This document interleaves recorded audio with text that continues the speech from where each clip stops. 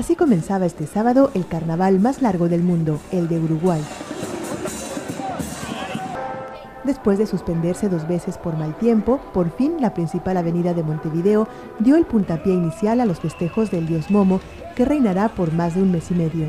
3.500 personas participaron en este desfile inaugural, a la cabeza las reinas del carnaval, las llamadas y las escolas do samba seguidas por humoristas, agrupaciones de negros y lubolos, que son los blancos pintados de negros, y las favoritas de los uruguayos, las tradicionales murgas.